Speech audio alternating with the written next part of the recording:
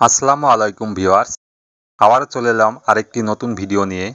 আর আজকের এই ভিডিওতে আমি আপনাদেরকে জানাব, মূলা চাষ কীভাবে করবেন? কেমন মাটির প্রয়োজন হয় মূলা চাষে? কোন সময়ে মূলা চাষ করলে লাভবান হওয়া যায়? কি কি সমস্যা আসে মূলা চাষে? এর সমাধানই বা কীভাবে করবেন? জমিতে কি পরিমাণ সার ব্যবহার করবেন? এর স্টেপ বাই স্টেপ আমি আপনাদের সামনে তুলে ধরব। তাই আপনারা ভিডিওটি স্কিপ না করে সম্পূর্ণ দেখুন। আর আপনারা দেখছেন কৃষি বিষয়ক ইউটিউব চ্যানেল ফার্মাস ফ্রেন্ড। মূলা হচ্ছে মাটির নিচের ফসল। মূলা চাষের জন্য আমাদেরকে এমন মাটি বেছে নিতে হবে, যে মাটিতে মূলা খুব ভালো হয়, সহজেই বেড়ে উঠতে পারে। এর জন্য উঁচু বেলে দোআঁশ ও বেলে মাটি বেছে নিতে হবে। এঁটেল মাটিতে যদি আমরা মূলা চাষ করি, তাহলে মূলার বাড়বাড়ান্তি কম হয়। মূলা চাষের জন্য আমাদেরকে মাটিটিকে তিন চারটি চাষ দিয়ে ভালো করে ঝুরঝুরে করে নিতে হবে। পর্যাপ্ত পরিমাণে আমাদেরকে জৈব সার ব্যবহার করতে হবে। কোন সময়ে মূলা চাষ করলে আমরা বেশি লাভবান হতে পারব? আমরা যদি অগ্রিম মূলা চাষ করি, অর্থাৎ এই সময়ে আগস্ট থেকে সেপ্টেম্বর মাসের মধ্যে যদি আমরা জমিতে মূলার বীজ রোপণ করতে পারি, তাহলে বেশি লাভবান হতে পারব। যদি আমরা অগ্রিম মূলা চাষ করি, তাহলে বাজারের চাহিদা বেশি থাকে, পয়সাও ভালো কামানো যায়। মূলা চাষের জন্যে বাজার থেকে স্বল্প সময়ের হাইব্রিড জাতের বীজ সংগ্রহ করব। আমি আপনাদেরকে এখানে কয়েকটি বীজের নাম বলছি। সেই বীজগুলি আপনারা বাজার থেকে সংগ্রহ করে নেবেন। বীজগুলি হচ্ছে Everest, White Prince, Himalaya F one super চল্লিশ, হোয়াইট রকেট, সুফালা চল্লিশ, সিগমা চল্লিশ। এছাড়া পাওয়া যায় বিপ্লব চুরানব্বই। এর মধ্যে থেকে যে কোনো দুটি বীজ আপনারা সংগ্রহ করে জমিতে রোপণ করবেন। বিঘাপতি মূলার বীজ লাগে চারশো থেকে পাঁচশো গ্রাম। এখানে আমি আপনাদেরকে দুটি বীজ সংগ্রহ করতে এই কারণেই বললাম, কোনো কারণে যদি একটি বীজ নষ্ট হয়ে যায়, তাহলে আরেকটি বীজে আপনাদের পয়সাটা উঠিয়ে দেবে। মূলা সাধারণত জমিতে দুই রকমভাবে রোপণ করা যায়। বডকাস্টিন বা ছিটিয়ে জমিতে মূলা রোপণ করা যায়। আবার সারি করে, সারিতে সারিতে ছিটিয়ে মোলা বোনা যায়। যদি আপনারা সারিতে মূলার চাষ করতে চান, তাহলে সারি থেকে সারির দূরত্ব রাখবেন পঁচিশ থেকে তিরিশ সেন্টিমিটার। মূলো যদি সুন্দর পাতা ও অধিক পরিমাণে ফলন পেতে চান, তাহলে সঠিক পরিমাণে আমাদেরকে জমিতে সার প্রয়োগ করতে হবে। বিঘাপতি আমাদেরকে গোবর সার এক থেকে দেড় টন সরিষার খোল দিতে হবে পঁচিশ কেজি। দশ ছাব্বিশ ছাব্বিশ সার লাগবে কুড়ি কেজি, সঙ্গে লাগবে ইউরিয়া কুড়ি কেজি। এই সারগুলিকে একসঙ্গে মিশিয়ে শেষ চাষের আগে জমিতে ছিটিয়ে দিতে হবে।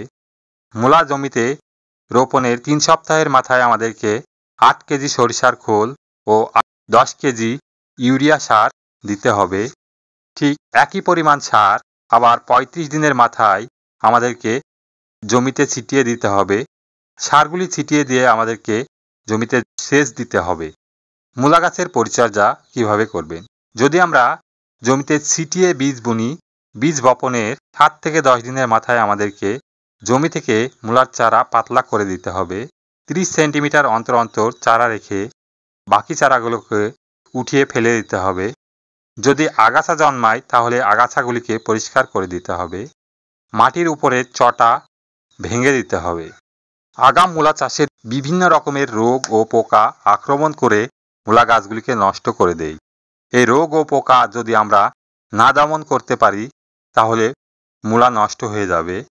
চলুন দেখে নিই মূলা গাছে কী কী রোগ দেখা যায়। বৃষ্টির সময় দেখা যায় মূলার পাতা কালো হয়ে এক পাশ থেকে পচতে শুরু করে। এই রোগগুলি ব্যাকটেরিয়ার সঙ্গে ছত্রাকের আক্রমণে হয়ে থাকে। এই রোগ দেখা দিলে কপার হাইড্রক্সাইড তিপ্পান্ন দশমিক আট ডিএফ, অর্থাৎ কোসাইড সঙ্গে স্টেপটোসাইলিন মিশিয়ে প্রয়োগ করতে হবে।